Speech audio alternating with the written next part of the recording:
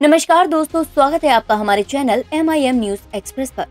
कृषि कानून खत्म होने के बाद में संसद सत्र से पहले सर्वदलीय बैठक हुई, जिसमें पीएम मोदी नहीं आए। इसे लेकर विपक्षियों ने अपने सवालों का सिलसिला शुरू कर दिया। आइए जानते हैं, क्या है पूरा मामला। इस वीडियो के अंत तक बने रहें और देखते रहें M I M news express दरअसल आपको बता दें कि संसद सत्र से पहले सर्वदलीय बैठक में नहीं पहुँचे पीएम मोदी और सरकार की ओर से राजनाथ सिंह ने सदन की कार्यवाही को सुचारू रूप से चलाने के लिए विपक्ष का सहयोग मांगा और साथ ही कांग्रेस के मल्लिकार्जुन खड़गे ने पीएम की गैर मौजूदगी पर सवाल उठाते हुए कहा कि प्रधानमंत्री ने तीन कृषि कानूनों को वापस लेने की घोषणा पर माफ़ी मांगते हुए कहा था कि वे किसानों को समझा नहीं पाए। कांग्रेस नेता ने कहा कि इसका अर्थ ये है कि कल किसी दूसरे रूप में इन कानूनों को लाया जाएगा और राज्यसभा में विपक्ष के नेता खड़गे ने कहा कि हम अपेक्षा कर रहे थे कि बैठक में प्रधानमंत्री आएँगे, लेकिन किसी कारण से वह नहीं आए। उन्होंने कहा कि हम प्रधानमंत्री से कृषि कानूनों को लेकर कुछ बातों पर स्थिति स्पष्ट करना चाहते थे। खड़गे ने कहा कि सर्वदलीय बैठक में 15 से 20 महत्वपूर्ण मुद्दों पर चर्चा हुई। वे सरकार का सहयोग करना चाहते हैं। अच्छे विधेयक आएँगे, तब हम सरकार को सहयोग करेंगे।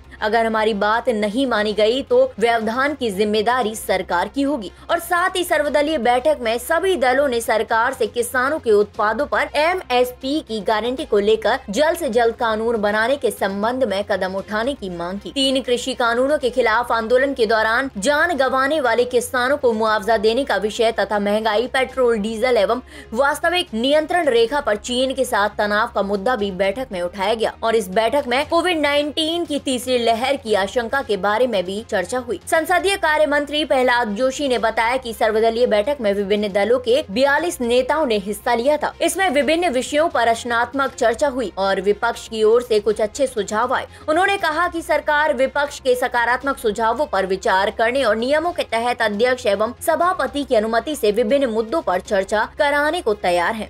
जोशी ने कहा कि हमने अपील की है कि सदन में बिना किसी व्यवधान के कामकाज हो।